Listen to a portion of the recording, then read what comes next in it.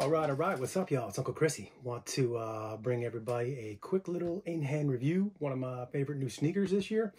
Um, been trying to do a little bit more of these when I get things in hand. Um, I'm not really going to do all the, you know, early Jordans and Dunks for, you know, a year and a half down the road, but uh, we'll see what we can do. Today, I know I'm a little bit late getting this one out there, but I got the undefeated Terra Humara's, uh, the cargo khaki. Undefeated is a brand that I love. Uh, I love their connection to sport. I love their overall aesthetic. Um, they're also one of the best sites out there for being able to cop sneakers manually.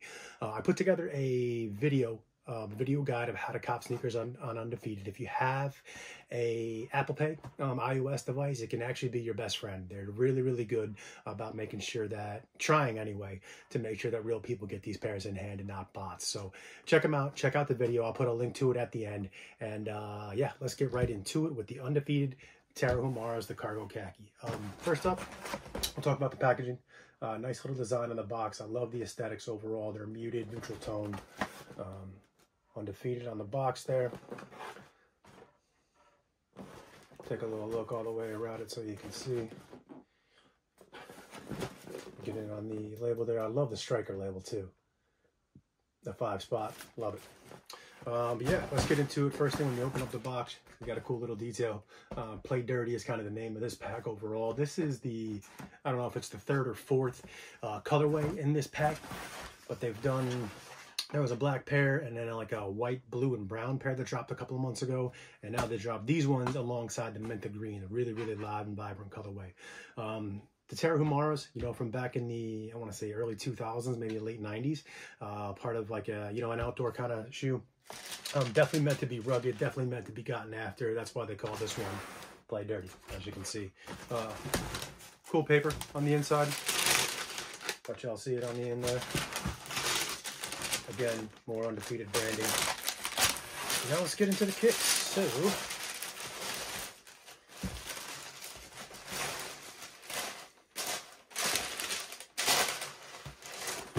all right, so first things first. What do you notice about the colorway? Let's see, let's get in there for you.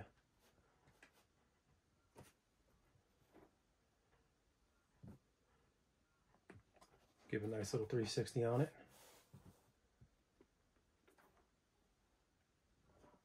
Undercarriage, insole. Um, yeah, what's the first thing we notice about this colorway? It is very, very similar to the undefeated Jordan 4, which was the first Air Jordan collab with a, uh, yeah, with a boutique. Um, so it's really, really cool to see them bring that aesthetic back with the olive green, the hints of orange, and the, uh, the dark charcoal black kind of vibes. So let's get into the shoe a little bit because there's a lot to go around here. Um, so first up, like I said, overall, this color schematic, I absolutely love it. I love the cargo green. That's uh, one of my favorite colors. Um, on the toe box, see right here, you got this kind of canvasy, uh, I don't know if it's ballistic canvas, but it looks pretty tough. Uh, maybe nylon, uh, but it's in this really dark gray, kind of steely colorway. Um, around the toe box and the mud guard here is a suede, um, again in that olive green. And then you got the, uh, the crap kicker on the front door there. Uh, so it's a rubberized um, it's a rubberized tip. Uh, got the little spike similar to what you've seen with some off-white models, but it's definitely meant to be to be beaten up. That way, you know, you're chopping through the woods, doing some hiking or something like that. You don't got to be afraid to go head first into it when you got something like that on there. Uh, 3M detailing in the front pieces right here. Again, a nice touch. And then as we move on to the medial, um, you got the khaki cargo khaki, I guess. Um, sorry, it looks green to me. It's hard. I'm calling it khaki. Uh, but you got that on the overlays with the nylon set underneath. Um, you got, again, another 3M panel kind of humping around right here. And then you got some black nubuck uh, underneath. Um, you see on the one side, play, dirty. Um, another cool little detail, you know, revs up the name of the uh, name of the shoe. You got the miniature swoosh towards the back with the undefeated tag, um, give you a little bit more of the branding. Move around to the back, and you have more of that hard rubberized uh, material. Gives you a little bit of a bumper, I guess, if you back up into anything. Um, you ain't got to worry about it. If you're running around New York City with these and somebody steps on your kicks, you really don't have to worry about it. Uh, undefeated branding on the um, heel tab right there as well. Uh, the instep, you know, the uh, the shoe liner right here is that same kind of dark steel, carbon, whatever you want to call it, um, nylon. And then again on the inside, it's pretty much just a mimic of what we saw on the outsole, outside. Sorry.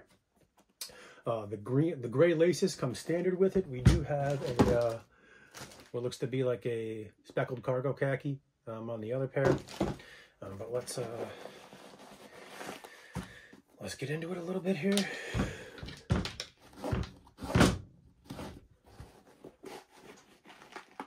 Cool little insole. Unfortunately, it is glued down. I don't want to wreck them, um, but I'll give you a little peek inside there. That you see a little bit more of the khaki, um, some footprints, things like that.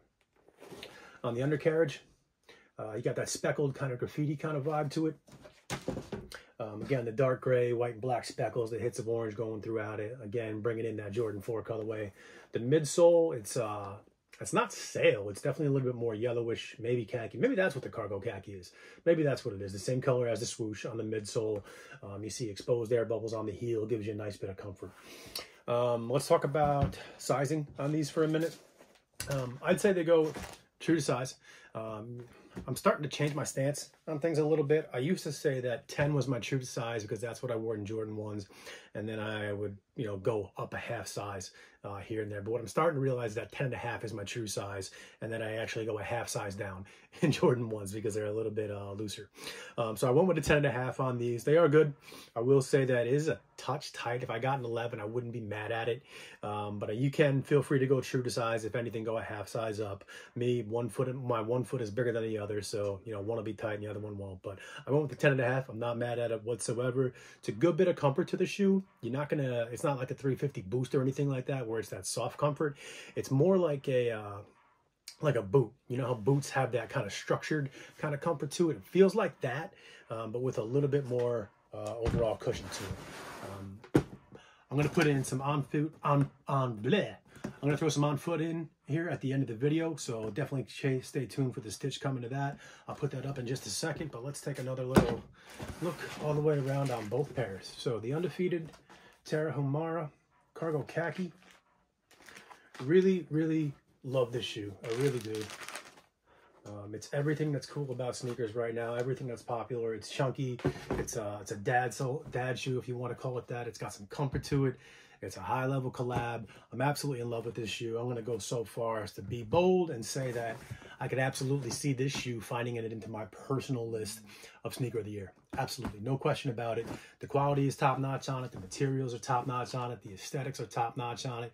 It's functional. You can wear it out in the streets. You can wear it in a hike on a hike. Um, you don't really have to worry about this shoe getting wet. It's got some 3M hits to it, so it glows in the dark a little bit. And uh, yeah, it's stylish too. It's got some nice curb appeal. So I love this shoe. I really, really do. Um, undefeated, props to y'all for putting this one together. I've got a few undefeated collabs in my collection so far, and I am very happy to have added this one. Uh, let's see, real quick, overall, overall on this one, I'm gonna give it, I'm gonna give it an 8.3. Like I said, I really, really like it. I love the materials. I love the design. Love all of it about it. I love that you get a little bit of nostalgia from when I was younger with the Terra Humara. And uh, props to Undefeated. Stay tuned. Got some on foot picks coming up next. Um, then stay tuned. I got another one coming up today. We're going to do some ASICs. And then, uh, yeah, stick with me on the channel. Make sure you got the noti set because I do like to pop out a lot of late breaking information for your shock drops and all that. Until then, Uncle Chrissy signing off. And please do me a favor. Drop a like and a sub on the video. It means a lot. Undefeated Terra Humaras. Peace.